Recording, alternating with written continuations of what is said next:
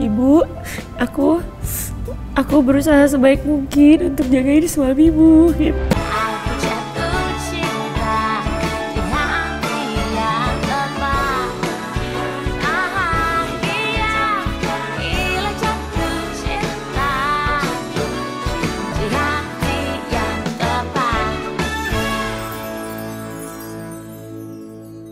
Jadi gini, aku mau ngasih tau dulu. Jadi dari dulu itu, dari aku kecil, ibu bapak aku tuh memang bukan orang yang berlebihan. Cukup aja gitu. Cukup pusing kalau mau bayaran sekolah anak. Cukup pusing kalau anaknya minta duit buat bergaul gitu. Bapak tuh kerja dari dulu di eh, perusahaan swasta. Ibu kerja tapi berhenti pas aku TK karena dulu itu waktu ibu nerusin kerja, aku dititipin di kayak tempat penitipan anak gitu. Terus tiap hari ternyata ngompol. Akhirnya ibu mikir, oh ya udahlah kayaknya anak aku nggak mau dititipin, jadi ibu berhenti kerja gitu. Udah udah deh tuh dari kecil ibu ngurusin aku nggak kerja, jadi bapak aja yang kerja. Makanya serba terbatas lah gitu. Semakin tumbuh-tumbuh besar gitu kan ya, ibu aku itu eh, dipercaya untuk ngurusin nenek lah gitu. Jadi kita memang selalu bareng-bareng sama nenek aku, tinggal bareng sama nenek gitu. Yang nggak jarang juga apa ya, mungkin mungkin keluarga kita kadang-kadang dinilai sebagai orang yang mungkin nggak produktif kali ya jatuhnya kok kayaknya nebeng gitu apalagi ibu-ibu tuh orangnya sensitif banget gitu peka gitu hatinya jadi sering nangis lah mungkin ada omongan-omongan yang mungkin juga nggak ada yang maksud untuk menyakiti dia cuman ya mungkin ada omongan-omongan yang kayaknya nggak ngenakin hatinya dia dia nangis segala macam. Jadi aku tuh tumbuh besar jadi orang yang ah gue harus kerja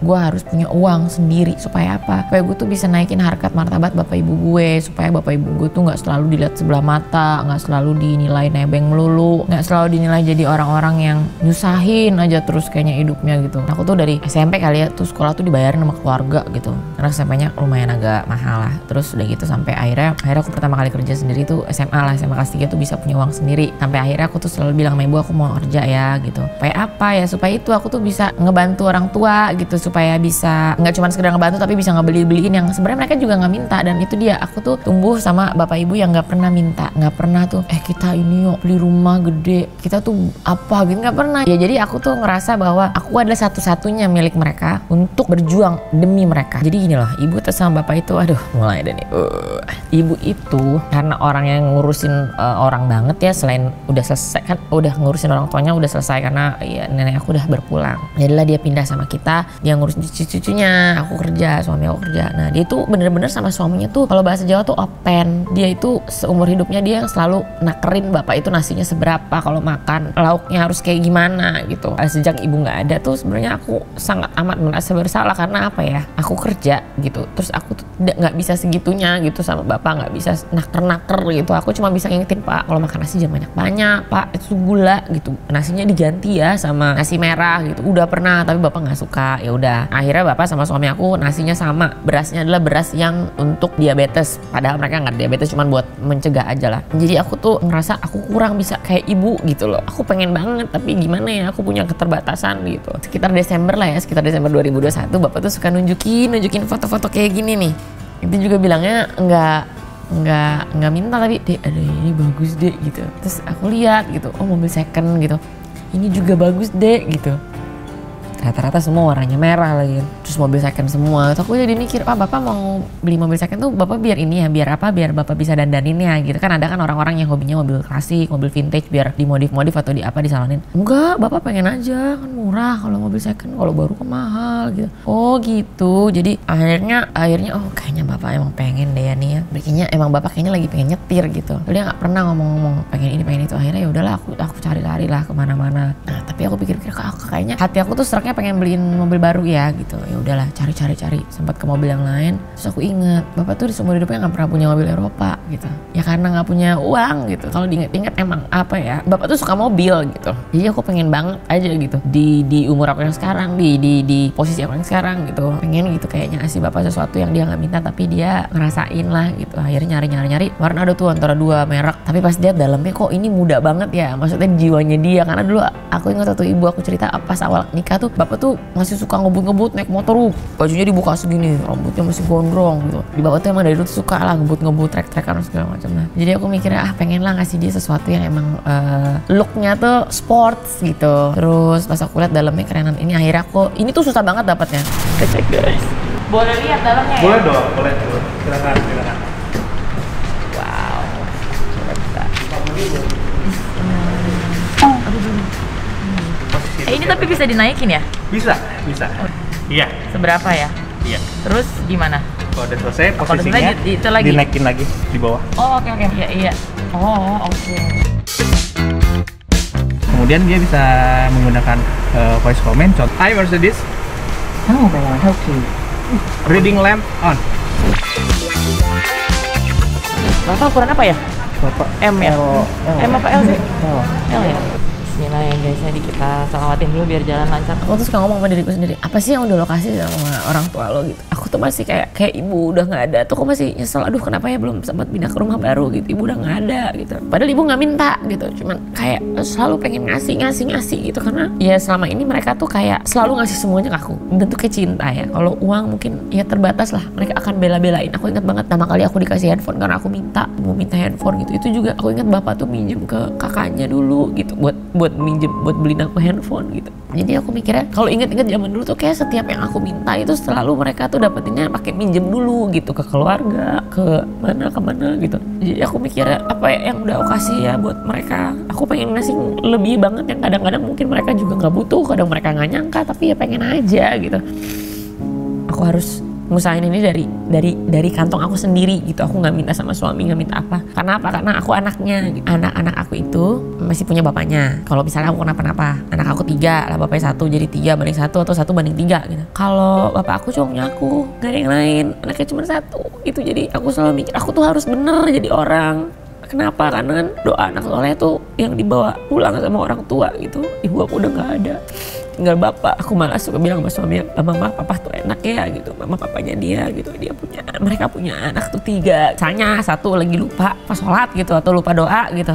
Masih ada dua lainnya gitu. Ini tuh ya persembahan lah buat bapak aku. Aku sharing kayak gini bukannya pengen pengen bilang kalau ya gue habis beli beli bapak gue ini enggak cuman ya cuma pengen sharing aja sama teman-teman kan mumpung kita lagi masa produktif mumpung kita tuh masih dikasih kesempatan sekerja gitu bisa dapat rezeki. Kadang-kadang kita suka lupa gitu. Kalau ada orang tua orang tua kita yang nggak minta ya bahkan mintanya cuma di telepon atau mintanya cuma sekedar di WhatsApp atau kadang-kadang nggak minta sama sekali cukup seneng lihat kita dari jauh gitu. Tapi sebenarnya kalau kita bisa ngasih ke mereka nggak usah banyak lah. Seadanya aja yang lagi ada gitu itu pasti mereka ngerasa bahagia banget pasti. Itu karena dari kecil kan kita dikasih terus sama mereka dikasih doa dikasih makan. Pasti semua orang tua berusaha untuk ngasih yang terbaik ya buat anak-anaknya Semoga Allah kasih tahu ke ibu kalau ibu aku aku berusaha sebaik mungkin untuk jagain suamimu. Gitu. Semoga ibu juga tenang karena tahu bahwa suaminya yang selama ini dia openin, so yang selama ini dia jagain makannya, minumnya. Aku juga jagain. Walaupun aku jagainnya gak sebaik ibu pasti jagain bapak. Tapi tenang ya Bu Ai jagain bapak kok. Insya Allah. Ya, insya Allah ibu udah tenang di sana. Ya dan doaku. Semoga nanti suatu saat nanti kita kumpul lagi bertiga dan mungkin rame-rame sama cucu-cucunya sama anak menantunya ibu. Aku cuma mau ngomong gitu. Semoga bapak bahagia, ibu juga bah- bahagia di sisi Allah Subhanahu Wa Taala. Amin.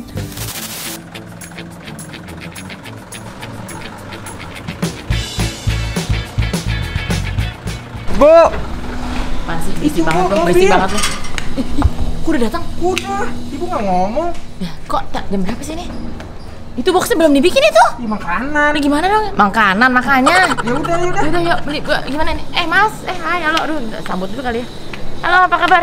Eh cepat tuh kan, headband saya jatuh, headphone. Ah, Halo Bu dari Benz Darwin Bu. Iya Mas Darwin, sehat sehat. Sehat Bu. Ini mobilnya Bu silakan dilihat cepet dulu. banget emang. Deh, coba saya lihat ya. Kok tinggi banget pas waktu di showroom nggak tinggi begini? Ah, mungkin karena di towing Oh kali Bu. gitu. Eh mas, jadi tuh rencananya nanti saya mau ngasihnya tuh dalam box. Jadi pas box dibuka baru tueng, weong, weong, weong. Oh, oh gitu. Ini karena kecepatan eh, eh, kotaknya belum dibikin dah tuh. Coba Pak Muhim, mau eh, eh, ya benar ya Mas, ngadem dulu Mas, ngadem Mas. Ayo pakai kotaknya.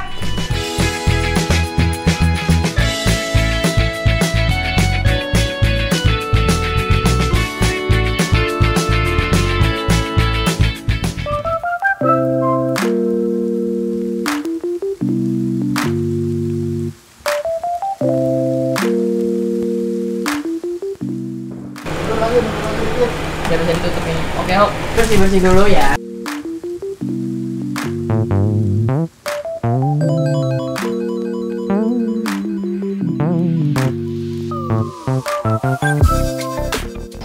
Senapan. Dia nggak diangkat sama suami nggak diangkat apa apa nggak diangkat. Percaya nggak sih sama gue? Bapak boleh tolong ke alaman nggak Pak bantuin Ayu syuting dahsyat? Kenapa? Bapak tolong ke alaman bantuin Ayu syuting dahsyat. Sekarang? Iya, Oh ya udah. iya, makasih Ya ya udah, Pak. Iya, Oke, makasih yuk. Pak. Dah. Bismillahirrahmanirrahim. Udah datang. Udah datang. Naik motor. Enggak, enggak jalan kaki. Oh. Ya Allah. Iya iya benar-benar. Pak sini Pak. Pak copot dulu kucingnya. Eh kucingnya. Maskernya pinjam. Udah kantongin. Oh iya kantongin Bapak nanti kotor nanti ayo semprot. Ini Pak. Ini kita ntar syuting dalam Pak. Syutingnya di dalam. Masuk Iya Bapak. iya Bapak buka. Loh. Terus apa? Nih Bapak ini. Bapak. Keset keset kanan kirinya keset. Ka- Kanan kirinya tuh keset tuh. Kanan kiri mana? Ini nih yang ada, ini ada. Ada ininya. Iya yang ada. Ini. Heeh. Oh ini. Heeh. Ya. Ini.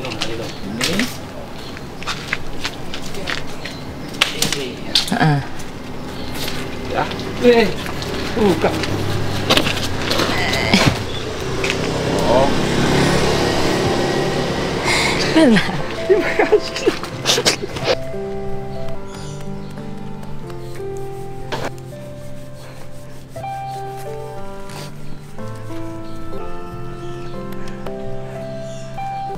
Apa nggak bisa ngomong apa-apa? Buat Bapak. Makasih ya nak. Iya. Bapak mau ngomong apa nggak? Gak usah ngomong, lihat aja. Iya. Bapak Mama ini belum pernah punya mobil Eropa. Ya, terus terang aja bapak. Jadi dilihat Pak, dicobain.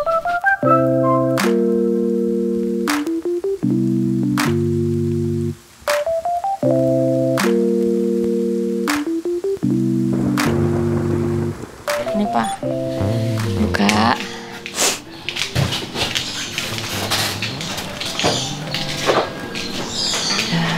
Bagus banget.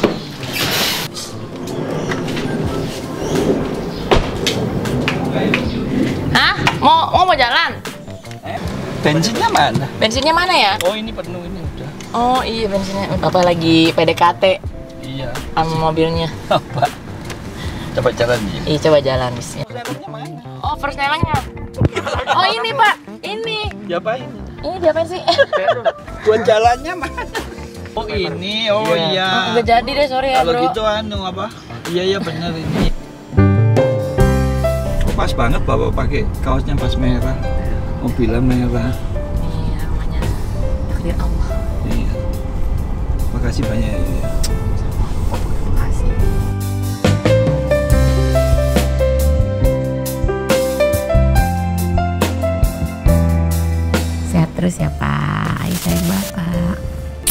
Love you.